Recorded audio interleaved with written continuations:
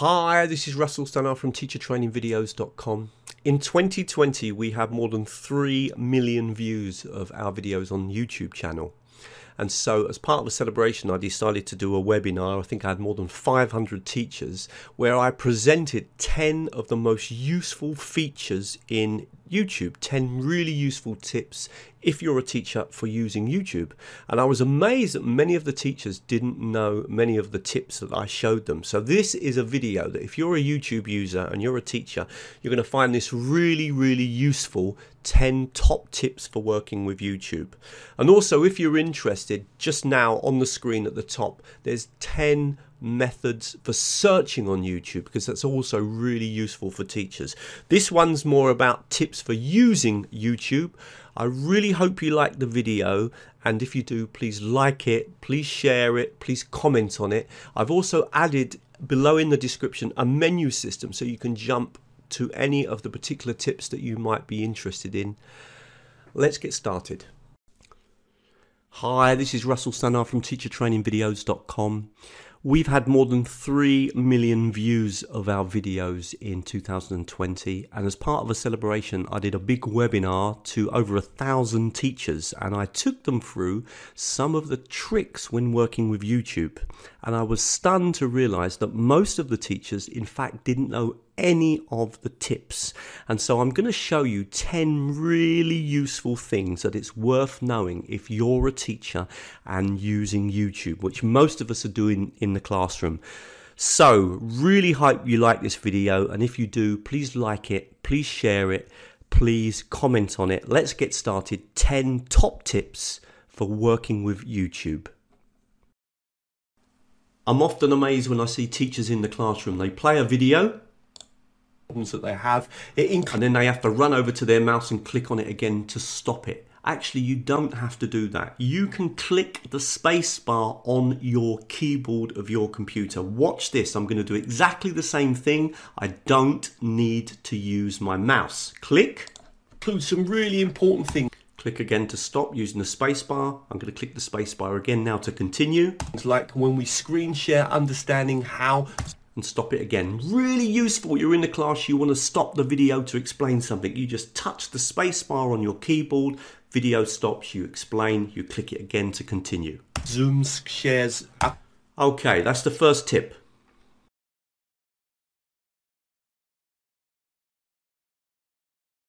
Okay, this next tip is particularly useful to language teachers. It doesn't always work, it does depend a little bit on the settings of the person that made the video. But if we take most of my videos, so let's look at this one here, and we click here, notice it says open transcript and then suddenly you get the transcript here on the right hand side now not only that but as you play the video it will show up in the transcript here Hi, this is Russell Stannard from teachertrainingvideos.com.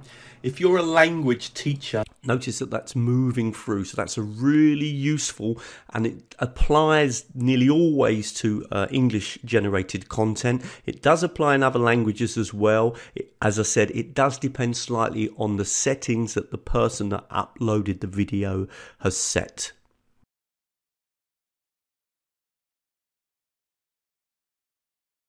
Now in a minute I'm going to show you some amazing ways of jumping around your video that many teachers don't realize but one that we can use is by using the transcript.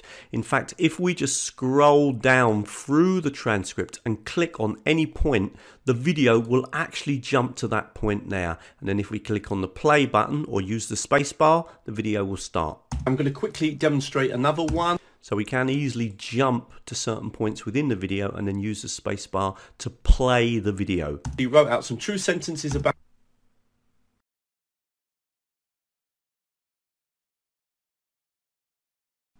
This next tip is really, really useful. You're playing a video and you want to jump back to the beginning. And again, you have to grab the mouse, stop the video, move it back and play it. No, you don't. Watch this. I'm simply going to click on the number zero. So I'm playing the video.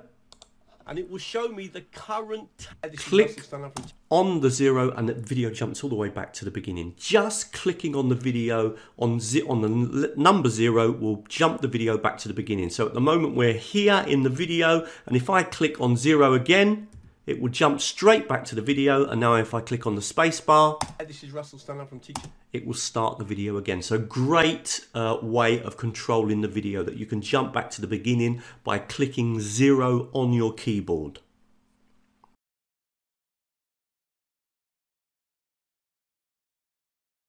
Okay, this is another lovely example. I'm just going to close the transcript down. We got the video on the screen here and I want to watch it in full size. Now what a lot of teachers do is they come down with their mouse and they try to remember and I always forget which one is the correct button. All you need to remember is to click on T. I'm going to start the video. Okay, so I'm going to click on T. This application. If I click here, and you see that the video now comes to full screen. And if I click on T again, it will go back to the default mode. So just using the T button is such a great way of moving in and out of the view when you're trying to present to your students. Really, really helpful. And again, you don't have to use the mouse and run over. You simply click on the T, open it up, bigger size, click on the spacebar to start the video. To open that application. Stop with the spacebar, click T again, and you're back to the default mode. Just a super quick interlude before we come back to the video, just to say if you like the video and you want more free videos, come over to teachertrainingvideos.com. Loads of things highlighted on the opening page, but you've got all these different technologies here at the top. And if you really want to follow my work, then sign up to my newsletter. That way you'll be updated with all the latest videos, the blog posts, the webinars, and the online courses that I run. And also at the moment, if you sign up to the newsletter, you will get a six part training course uh, to help you if you're a teacher and you're interested in incorporating technology into your teaching and learning. Uh, right, let's get back to the video.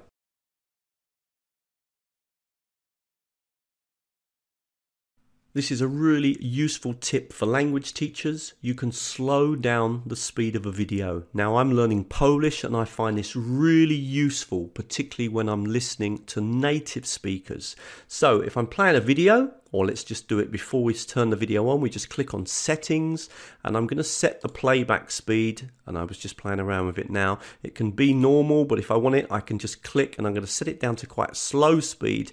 And now I'm going to play the video got a great video for you today. And you can hear that it's now a lot slower. That can be very useful and a great tip to show your students.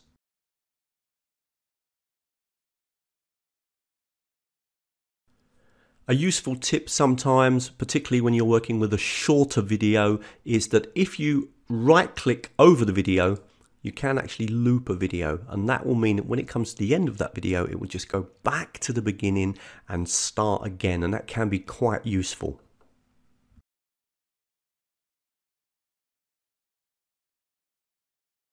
One feature that I use all the time is the watch later button. So let's say for example I find the video, I really like it, I click on save and then I add it to this button here. I just click here on watch later and that immediately is added to watch later. Now why is that useful? Well because if ever I come over to my channel so I click here and come to my channel on the left hand side and let me just stop this. Hi this is Russell Stannard. On the left hand side there is always at the top of your lists here. You have various lists here, but one of them is the watch later list. And if you click on that, then you will see a list of all the videos that you've got in your watch later list and I tend to put loads of videos in here. In fact, I've got 144 at the moment, so you can see um, I probably don't use it very effectively. However, once you've watched the video, and this is what I tend to do, is then click here and just simply remove that from my watch later list.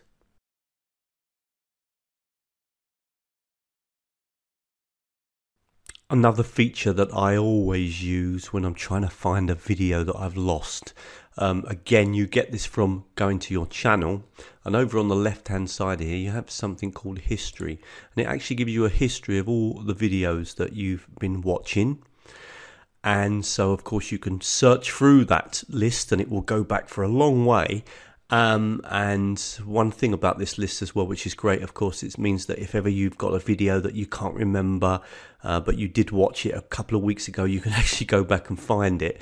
And you can clear that list if you want to clear it. I generally don't do that because it's so useful uh, when I look for a video that I can't find. Um, and you can also delete things from the history list as well. So, for example, if I wanted to delete this, I can delete that.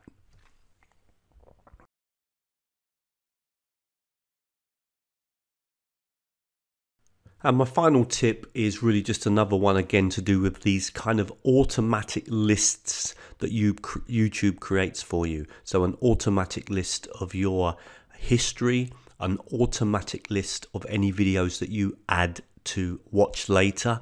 And another way to add a video is if you like it. So, if we jump on this video here, for example, and keep getting stuck we're just going to like this video. So, we come down here and we click on the like button Okay, so we've been added to the like button. Now, if we come back to our uh, channel or to our home page, so I'm just going to click here to come back to the home page, you can do that. Now, if we come up on this left hand side you'll see up, near the top there's something called liked videos and if we click on that you'll see that that video that I've just liked on has actually been added to another list which is all the videos that I've liked.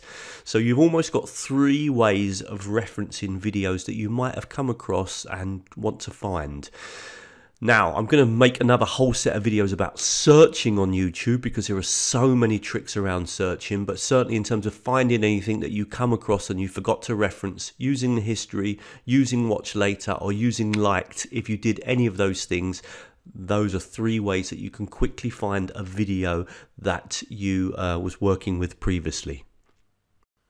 Okay, really hope that video was useful. Uh, please come over to teachertrainingvideos.com, lots more free videos. And don't forget, if you want to follow my work, the best thing to do is to sign up to the newsletter. We're offering a free six part course if you sign up to the newsletter on uh, using uh, technology in teaching and learning. And you'll also get updated with all the latest blog posts and the webinars and the courses and all the new videos. Of course, you can also follow me on my YouTube channel.